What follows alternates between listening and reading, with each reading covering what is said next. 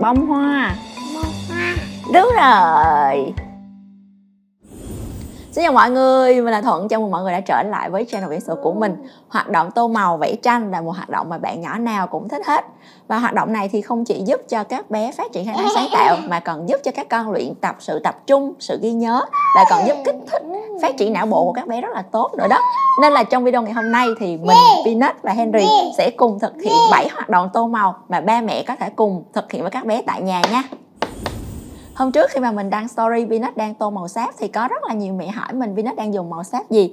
Thì đó là màu sáp Little Brian có xuất xứ từ Anh Quốc. Đây là một loại màu an toàn không độc hại rất là thân thiện với trẻ em luôn. Loại màu này đặc điểm khác với các loại màu sáp thông thường á đó, đó là không chỉ là sử dụng để vẽ trên giấy đâu mọi người mà còn có thể vẽ khắp mọi nơi trên tường trên sàn nhà trên cửa kính vẽ được khắp nơi và thậm chí là Peanut có thể vẽ trên tay được luôn. Nếu như mà màu dính lên áo á, thì cũng giặt đi được luôn. Đó là một điểm mà mình rất là thích bởi vì Peanut và Henry thì rất là thích vẽ lung tung cho nhà. Ok chúng ta cùng bắt đầu các hoạt động nha. Hoạt động đầu tiên là một hoạt động chấm màu. Chúng ta sẽ cần những miếng xốp như thế này nè mọi người và mình thấm ướt cho nó ẩm. Sau đó thì chúng ta sẽ sử dụng màu những bút màu này tô lên miếng xốp và các bé sẽ sử dụng miếng xốp có màu tô để chấm chấm trên bức tranh thành bức tranh. Bây giờ mẹ sẽ vẽ một cái cây sau đó thì Peanut sẽ chấm màu để tạo ra cái cây nha. Đó. Ok. Bây giờ mẹ sẽ vẽ một Không cái cây màu nâu.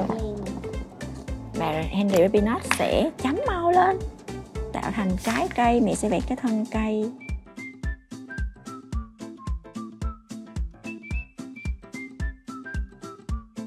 Rồi cho mỗi bạn một cây. Henry ơi Henry nhìn mẹ nè. Này chấm thân bút của Little Brian thì có thiết kế vặn như là thỏi son. Mình sử dụng đến đâu thì vặn đến đấy, cho nên sẽ tránh được trường hợp mà bé thường hay làm gãy ruột bút đó các mẹ. Thân bút cũng rất là dễ cầm nắm bé có thể cầm ở nhiều thao tác mà không ảnh hưởng đến sự phát triển của xương bàn tay. Mình biết là có nhiều ba mẹ sẽ lo lắng về việc là bé có thể cầm bút sớm thì sau này sẽ cầm sai cách khi mà học chữ hay là ảnh hưởng đến sự phát triển của xương bàn tay. Cây cây xanh nè ri wow rồi con chấm đi. Con chấm nè. Để bài cho con. có chấm đi. Đúng rồi. Wow vì nó chấm đẹp quá vậy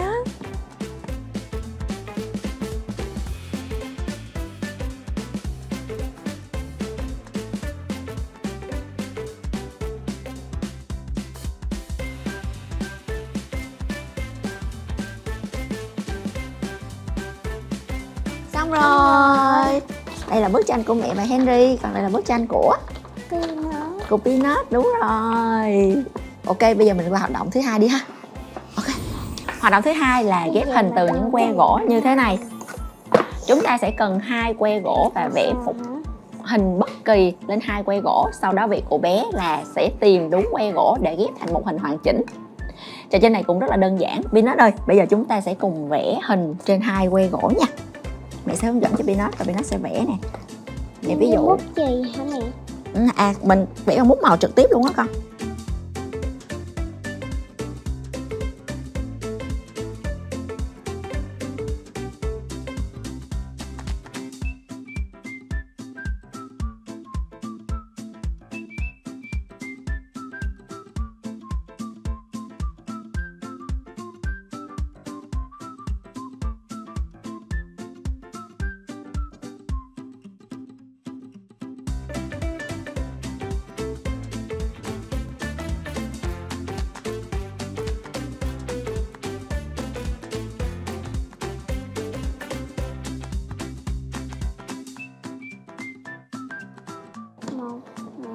Rồi, bây giờ con thử, con tìm con ghép lại hình cho mẹ xem nào. Mẹ ví dụ nha, mẹ ví dụ. Mình thấy hai cái cái màu này. Rồi, cái nào nữa? Tới cái nào nữa? Cái nào có cùng màu nữa? Con ghép lại. Đúng rồi. Đúng rồi, chính xác. Đúng rồi đó, cái này mẹ thấy đúng rồi đó. Đúng rồi. Yeah quả kem rồi, high five.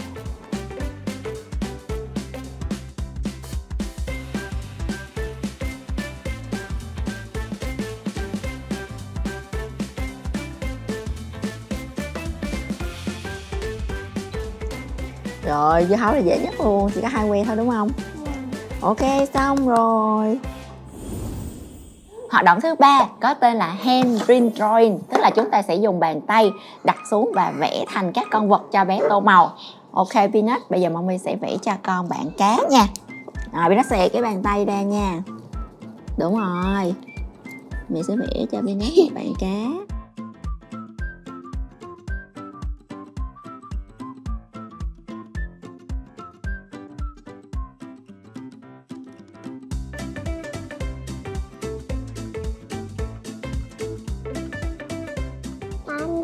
Bàn tay đúng rồi. Vì bàn cá nha. Đây. Nhỏ nhỏ nhỏ. à rồi rồi thêm một bạn nữa cho con đúng không? Ok. Vậy thì rất là thích cái hoạt động này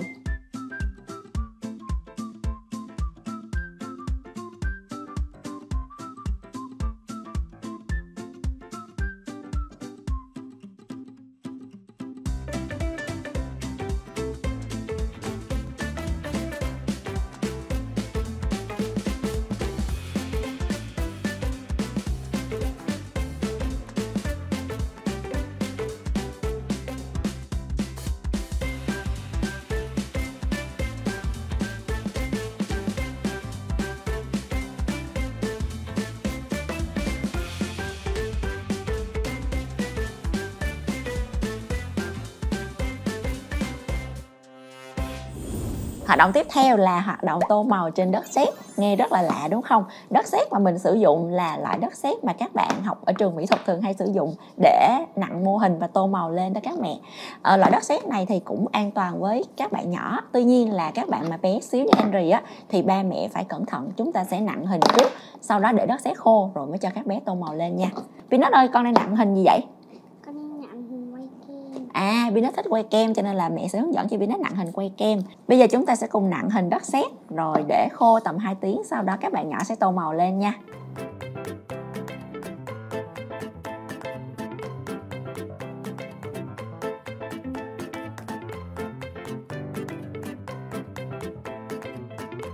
Peanut con đè cái quay kem này cho nó giống cái quay kem của con gì. Đè nó ra ha. À, nó muốn mẹ làm kem gì nữa? Con muốn làm kem À ok, kem dầu với kem dầu hấu nha Vì nó biết làm không chỉ mẹ đi Không đi. thì nó chỉ làm cái kem to hè thôi. Kem to vậy đó hả?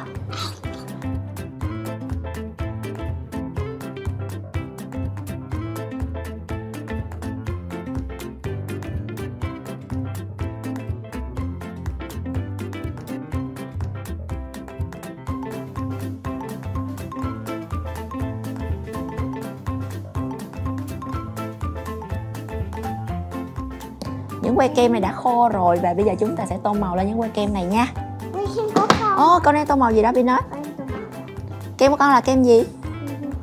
À ok, kem dưa hấu Của Rì là kem blueberry là tô màu gì ta? Tô màu tím.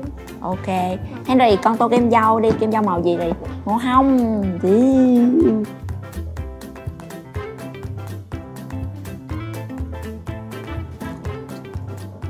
Wow, Peanut tô đẹp quá vậy Peanut Màu đỏ con đẹp ghê luôn á ha. Henry màu gì đây Rì? Màu hồng. Thôi. À. Ok con. Cái lem đó là mình có thể chùi tay được á con.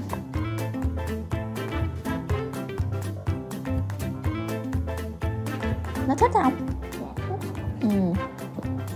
Bút sáp màu này tô lên đất sét Nhìn màu rất là đẹp giống như sơn vậy á mọi người. Màu sắc rất là tươi sáng Rực rỡ rất là đẹp luôn. Cực kỳ đều màu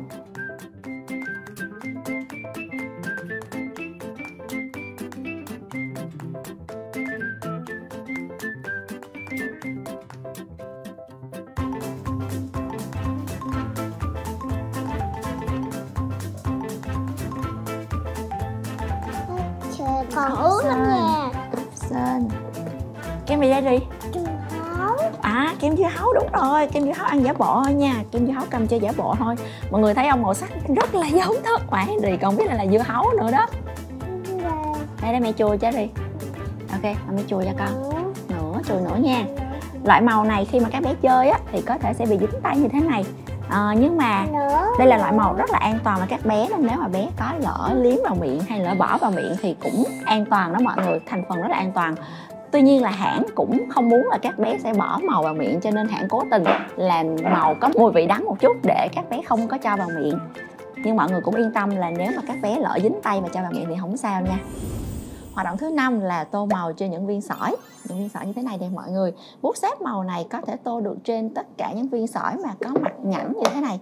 Ở việc tô màu cho những chất liệu khác nhau cũng sẽ giúp cho các bé tăng khả năng sáng tạo và những bạn nhỏ như Peanut từ 3 tuổi trở lên thì rất là thích đó.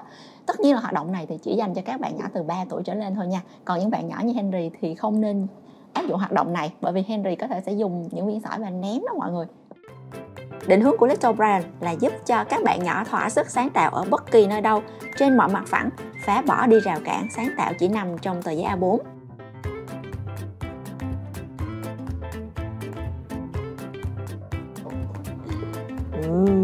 Ừ. Angry Nè, đúng không?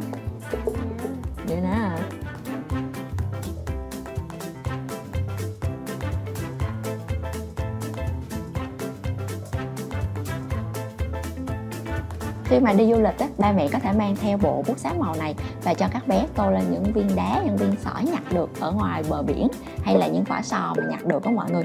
Thì các bé có thể uh, thực hiện các trò chơi như là tô trên những viên sỏi hay là trang trí vỏ sò rất là đẹp luôn. Xong rồi. Xong rồi. Bây giờ giơ thành phẩm của lên cho mẹ xem nào. Wow lên cho các cô chú và các bạn cùng xem nè hoạt động thứ sáu là một hoạt động vẽ khắp mọi nơi trong nhà mà mình chắc hẳn là bé nào cũng sẽ rất là thích. Bút xóa màu Little Brian này á mọi người, bé có thể vẽ lên kính này và lau đi rất là dễ dàng, hoặc là vẽ lên tường, vẽ lên sàn nhà, vẽ khắp mọi nơi trong nhà đều ok luôn đó. Trời đúng rồi, ông trời. Thế này Baby Nut rất là thích vẽ lung tung khắp mọi nơi trong nhà. Và đây, bút màu này chính là giải pháp của mình đó mọi người. Bút Little Brian có nét vẽ lớn kích thước đầu bút đến 18mm nên là một nét vẽ của Little Brian thì sẽ lớn gấp 3-4 lần nét vẽ của bút sáp bình thường. Cho nên rất là dễ dàng giúp cho bé vẽ được những tác phẩm riêng của mình trên những mặt phẳng lớn như là vẽ trên kính nè, trên sàn hay là trên cửa.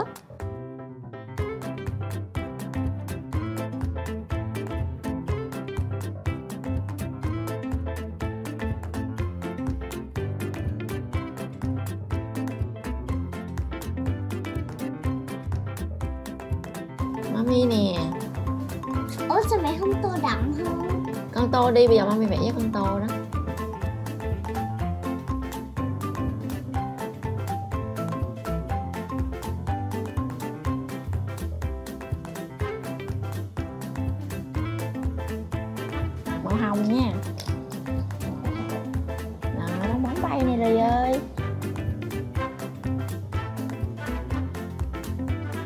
Mọi người nhìn nè màu vẽ rất là dễ dàng được tẩy sạch bằng khăn ẩm cho nên là mỗi lần mà vẽ xong á, thì mình thường hay hướng dẫn cho Peanut và Henry tự lau những vết này đi giống như là một hoạt động của các bạn sau khi mà vẽ xong vậy và hai bạn rất là thích hoạt động này luôn Hoạt động thứ bảy là vẽ trên bảng con. Bên cạnh bút sáp màu an toàn dễ lau chùi thì Little Brian còn có những chiếc bảng vẽ cho các bé tha hồ sáng tạo nữa. Peanut và Henry thích vẽ trên bảng con này lắm. Bảng có hai mặt, một mặt trắng và một mặt đen. Màu vẽ trên bảng đen giống như là phấn nhưng mà làm từ chất liệu an toàn, thân thiện với các bạn nhỏ. Giống như bút sáp màu vậy đó mọi người. Bảng đi kèm phấn nè, bút sáp màu và cả dễ lau. Bảng con này rất là gọn, mang đi đâu cũng được nên là khi mà đi ra ngoài chơi hay là đi công viên, đi picnic chẳng hạn thì chúng mình cũng có thể đem theo cho các bé tô vẽ rất là vui đó. đúng rồi hoa bông hoa đúng rồi.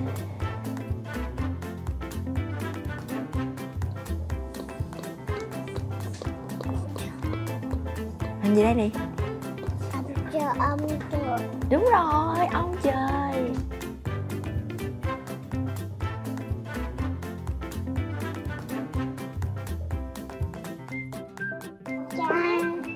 Bông hoa hả? Con vẽ bông hoa. Ồ đẹp quá rồi ơi bông hoa nè bông hoa rồi vẽ tiếp đi mẹ vẽ cùng với đây nha. Đây, bông hoa đây.